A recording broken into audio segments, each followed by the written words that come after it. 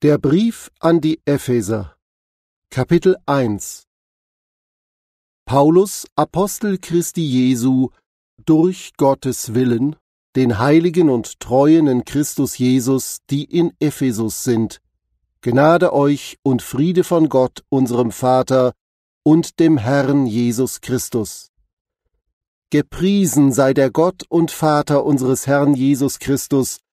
der uns gesegnet hat mit jeder geistlichen Segnung in den himmlischen Örtern in Christus, wie er uns auserwählt hat in ihm vor Grundlegung der Welt, dass wir heilig und untadelig sein vor ihm in Liebe, und uns zuvor bestimmt hat zur Sohnschaft durch Jesus Christus für sich selbst, nach dem Wohlgefallen seines Willens, zum Preise der Herrlichkeit seiner Gnade, womit er uns begnadigt hat in dem Geliebten, indem wir die Erlösung haben durch sein Blut, die Vergebung der Vergehungen nach dem Reichtum seiner Gnade, die er gegen uns hat überströmen lassen in aller Weisheit und Einsicht, indem er uns kundgetan hat das Geheimnis seines Willens nach seinem Wohlgefallen, das er sich vorgesetzt hat in sich selbst, für die Verwaltung der Fülle der Zeiten, alles unter ein Haupt zusammenzubringen, in dem Christus, das, was in den Himmeln, und das, was auf der Erde ist, in ihm, in dem wir auch ein Erbteil erlangt haben, die wir zuvor bestimmt sind nach dem Vorsatz dessen, der alles wirkt nach dem Rat seines Willens, damit wir zum Preise seiner Herrlichkeit seien, die wir zuvor auf den Christus gehofft haben, indem auch ihr, nachdem ihr gehört habt das Wort der Wahrheit, das Evangelium eures Heils, indem ihr auch, nachdem ihr geglaubt habt, versiegelt worden seid mit dem Heiligen Geist der Verheißung, der das Unterpfand unseres Erbes ist, zur Erlösung des erworbenen Besitzes zum Preise seiner Herrlichkeit. Weshalb auch ich, nachdem ich gehört habe von dem Glauben an den Herrn Jesus, der in euch ist, und von der Liebe, die ihr zu allen Heiligen habt, nicht aufhöre, für euch zu danken, euch erwähnend in meinen Gebeten, damit der Gott unseres Herrn Jesus Christus, der Vater der Herrlichkeit, euch gebe den Geist der Weisheit und Offenbarung in der Erkenntnis seiner selbst, damit ihr, erleuchtet an den Augen eures Herzens, wisst, welches die Hoffnung seiner Berufung ist, welches der Reichtum der Herrlichkeit seines Erbes in den Heiligen, und welches die überragende Größe seiner Kraft an uns, den Glaubenden, nach der Wirksamkeit der Macht seiner Stärke, in der er gewirkt hat in dem Christus, indem er ihn aus den Toten auferweckte, und er setzte ihn zu seiner Rechten in den himmlischen Örtern, über jedes Fürstentum und jede Gewalt und Kraft und Herrschaft und jeden Namen, der genannt wird, nicht allein in diesem Zeitalter, sondern auch in dem zukünftigen, und hat alles seinen Füßen unterworfen und ihn als Haupt über alles der Versammlung gegeben, die sein Leib ist, die Fülle dessen, der alles in allem erfüllt. Kapitel 2 Auch euch, die ihr tot wart in euren Vergehungen und Sünden, in denen ihr einst wandeltet, nach dem Zeitlauf dieser Welt, nach dem Fürsten der Gewalt der Luft, des Geistes, der jetzt wirksam ist in den Söhnen des Ungehorsams, unter denen auch wir einst alle unseren Wandel führten in den Begierden unseres Fleisches, indem wir den Willen des Fleisches und der Gedanken taten und von Natur Kinder des Zorns waren wie auch die übrigen. Gott aber, der reich ist an Barmherzigkeit, wegen seiner vielen Liebe, womit er uns geliebt hat, hat auch uns, als wir in den Vergehungen tot waren, mit dem Christus lebendig gemacht. Durch Gnade seid ihr errettet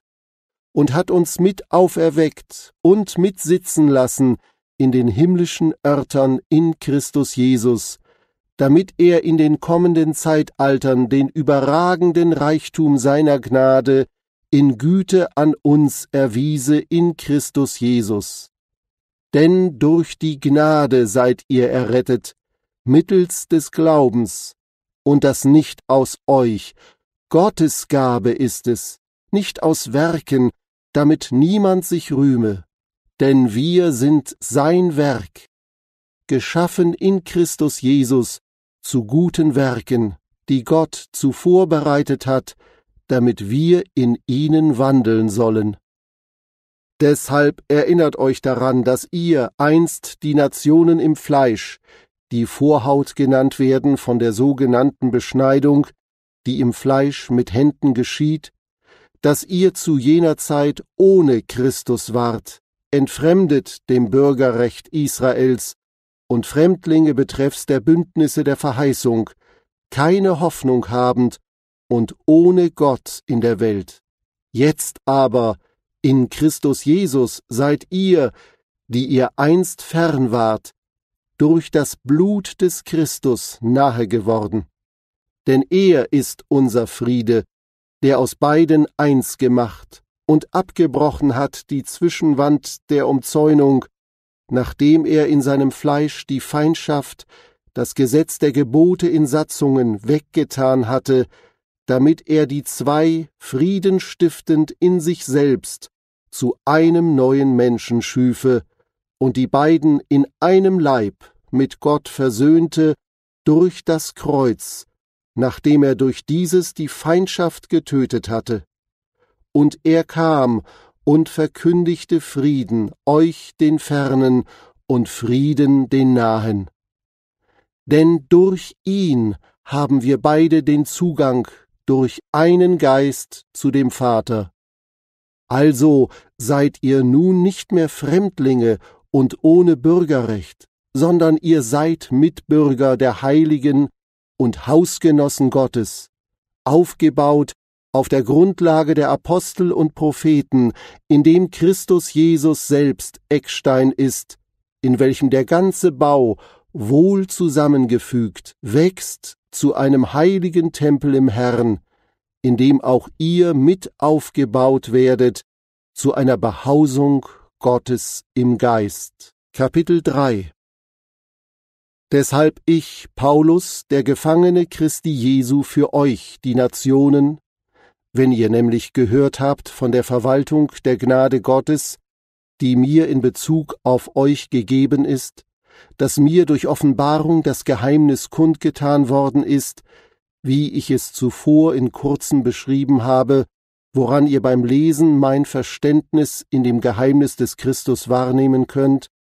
dass in anderen Geschlechtern den Söhnen der Menschen nicht kundgetan worden ist, wie es jetzt offenbart worden ist seinen heiligen Aposteln und Propheten im Geist, dass die aus den Nationen Miterben seien und Miteinverleibte und Mitteilhaber der Verheißung in Christus Jesus durch das Evangelium,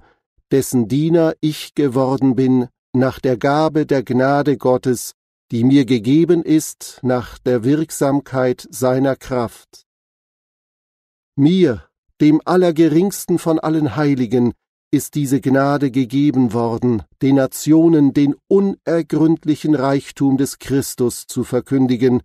und alle zu erleuchten, welches die Verwaltung des Geheimnisses sei, das von den Zeitaltern her verborgen war in Gott,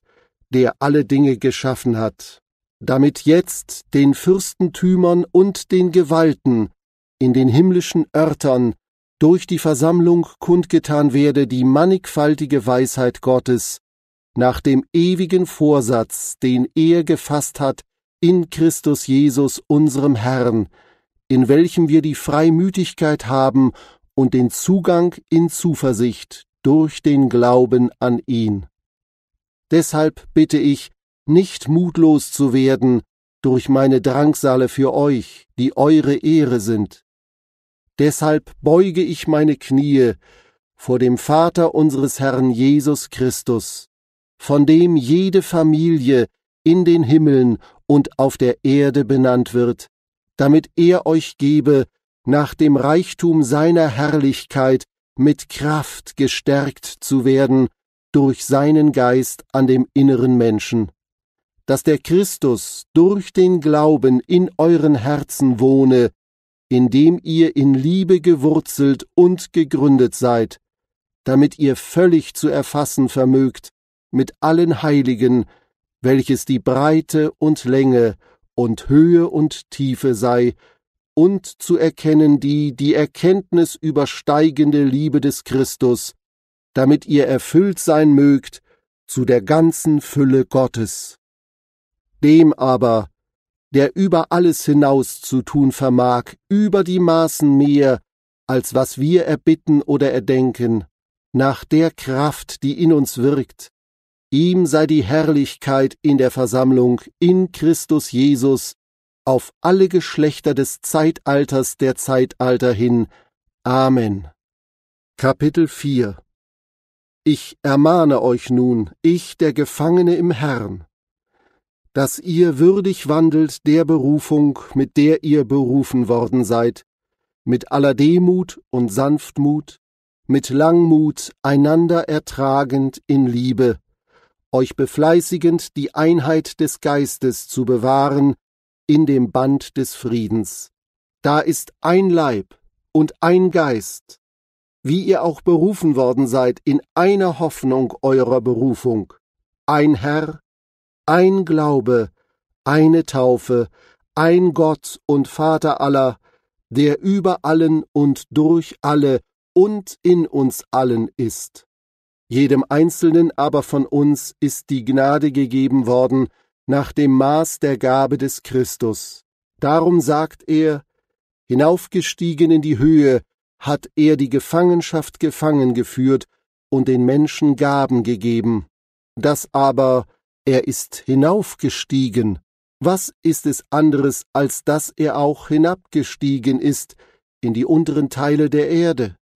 Der hinabgestiegen ist, ist derselbe, der auch hinaufgestiegen ist über alle Himmel, damit er alles erfüllte. Und er hat die einen gegeben als Apostel, und andere als Propheten und andere als Evangelisten und andere als Hirten und Lehrer, zur Vollendung der Heiligen für das Werk des Dienstes, für die Auferbauung des Leibes des Christus, bis wir alle hingelangen zu der Einheit des Glaubens und der Erkenntnis des Sohnes Gottes, zu dem erwachsenen Mann, zu dem Maß des vollen Wuchses der Fülle des Christus, damit wir nicht mehr Unmündige seien, hin und her geworfen und umhergetrieben von jedem Wind der Lehre, die durch die Betrügerei der Menschen kommt, durch ihre Verschlagenheit zu listig ersonnenem Irrtum, sondern die Wahrheit festhaltend in Liebe, lasst uns in allem heranwachsen zu ihm hin, der das Haupt ist, der Christus, aus dem der ganze Leib wohl zusammengefügt und verbunden durch jedes Gelenk der Darreichung nach der Wirksamkeit in dem Maß jedes einzelnen Teiles für sich das Wachstum des Leibes bewirkt, zu seiner Selbstauferbauung in Liebe. Dies nun sage und bezeuge ich im Herrn, dass ihr fortan nicht wandelt, wie auch die Nationen wandeln, in Eitelkeit ihres Sinnes, verfinstert am Verstand, entfremdet dem Leben Gottes wegen der Unwissenheit, die in ihnen ist, wegen der Verhärtung ihres Herzens, die, da sie alle Empfindung verloren, sich selbst der Ausschweifung hingegeben haben, um alle Unreinheit mit Gier auszuüben. Ihr aber habt den Christus nicht so gelernt, wenn ihr wirklich ihn gehört habt und in ihm gelehrt worden seid, wie die Wahrheit in dem Jesus ist, dass ihr, was den früheren Lebenswandel betrifft, abgelegt habt den alten Menschen, der nach den betrügerischen Begierden verdorben wird, aber erneuert werdet in dem Geist eurer Gesinnung und angezogen habt den neuen Menschen, der nach Gott geschaffen ist, in wahrhaftiger Gerechtigkeit und Heiligkeit. Deshalb,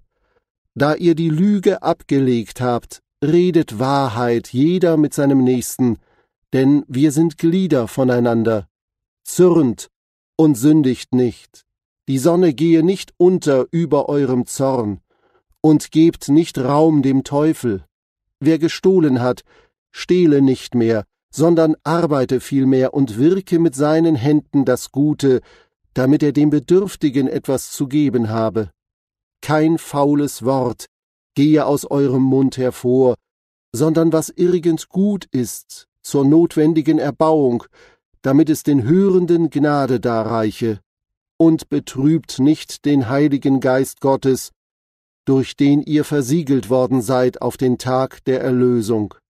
Alle Bitterkeit und Wut und Zorn und Geschrei und Lästerung sei von euch weggetan, samt aller Bosheit.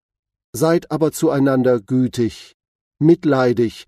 einander vergebend, wie auch Gott in Christus euch vergeben hat. Kapitel 5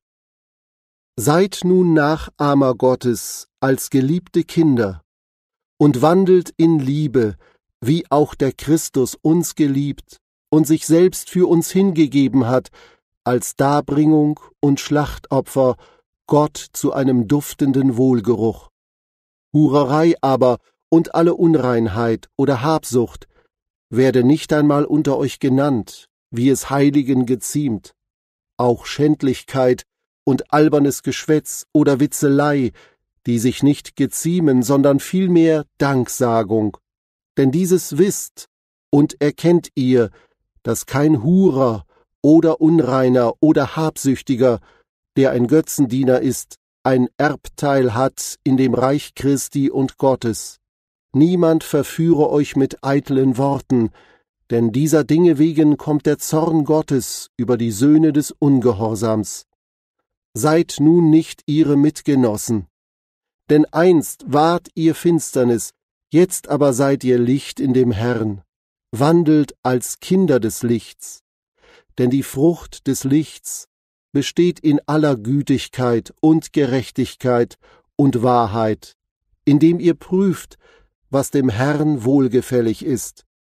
und habt nicht Gemeinschaft mit den unfruchtbaren Werken der Finsternis, vielmehr aber straft sie auch. Denn das, was heimlich von ihnen geschieht, ist schändlich auch nur zu sagen. Alles aber, was bloßgestellt wird, wird durch das Licht offenbar gemacht. Denn das Licht ist es, das alles offenbar macht. Deshalb sagt er, Wache auf, der du schläfst, und stehe auf aus den Toten, und der Christus wird dir leuchten. Gebt nun acht, wie ihr sorgfältig wandelt, nicht als Unweise, sondern als Weise, die die gelegene Zeit auskaufen, denn die Tage sind böse. Darum seid nicht töricht, sondern verständig, was der Wille des Herrn sei, und berauscht euch nicht mit Wein, in dem Ausschweifung ist, sondern werdet mit dem Geist erfüllt, redend zueinander in Psalmen und Lobliedern und geistlichen Liedern, singend und spielend dem Herrn in eurem Herzen, danksagend alle Zeit für alles dem Gott und Vater, im Namen unseres Herrn Jesus Christus, einander untergeordnet in der Furcht Christi. Ihr Frauen, seid euren eigenen Männern untergeordnet als dem Herrn. Denn der Mann ist das Haupt der Frau, wie auch der Christus das Haupt der Versammlung ist. Er ist des Leibes Heiland. Aber wie die Versammlung dem Christus unterworfen ist, so auch die Frauen den Männern in allem. Ihr Männer, liebt eure Frauen, wie auch der Christus die Versammlung geliebt und sich selbst für sie hingegeben hat, damit er sie heiligte, sie reinigend durch die Waschung mit Wasser durch das Wort, damit er die Versammlung sich selbst verherrlicht darstellte, die nicht Flecken oder Runzel oder etwas dergleichen habe, sondern dass sie heilig und untadelig sei. So sind auch die Männer schuldig, ihre Frauen zu lieben wie ihre eigenen Leiber. Wer seine Frau liebt, liebt sich selbst. Denn niemand hat jemals sein eigenes Fleisch gehasst, sondern er nährt und pflegt es, wie auch der Christus die Versammlung. Denn wir sind Glieder seines Leibes, von seinem Fleisch und von seinen Gebeinen. Deswegen wird ein Mensch den Vater und die Mutter verlassen und seiner Frau anhangen, und die zwei werden ein Fleisch sein. Dieses Geheimnis ist groß. Ich sage es aber in Bezug auf Christus und auf die Versammlung.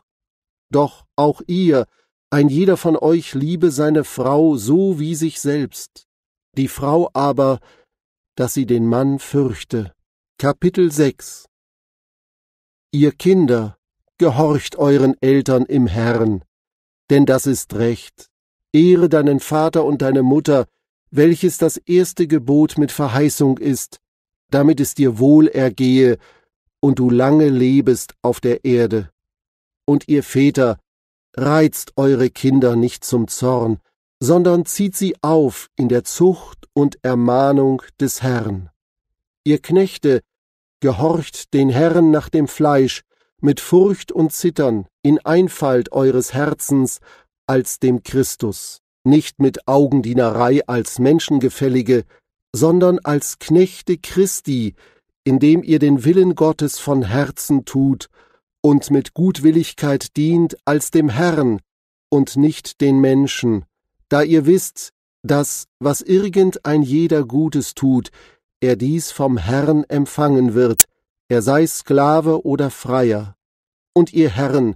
tut dasselbe gegen sie und lasst das drohen, da ihr wisst, dass sowohl ihr als auch euer Herr in den Himmeln ist und dass bei ihm kein Ansehen der Person ist.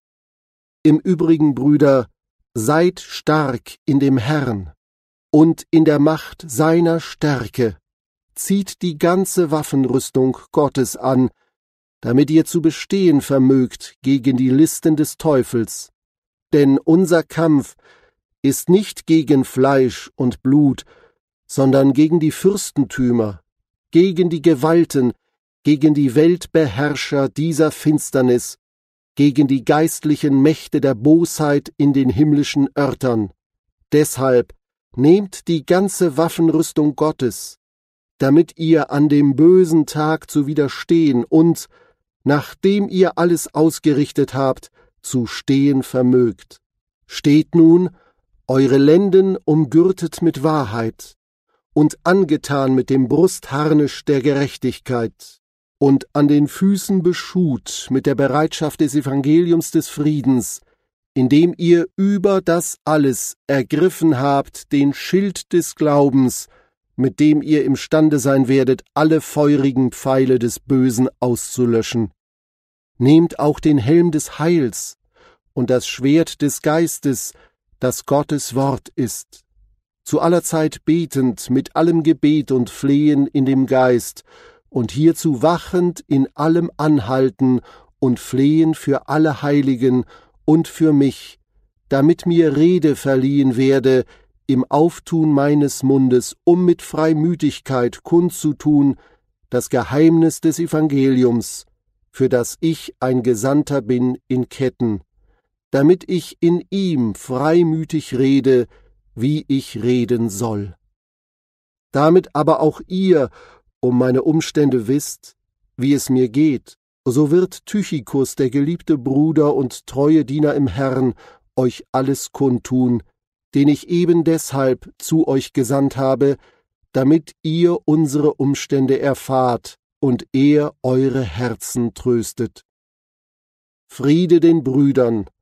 und Liebe mit Glauben von Gott dem Vater und dem Herrn Jesus Christus. Die Gnade sei mit allen denen, die unseren Herrn Jesus Christus lieben,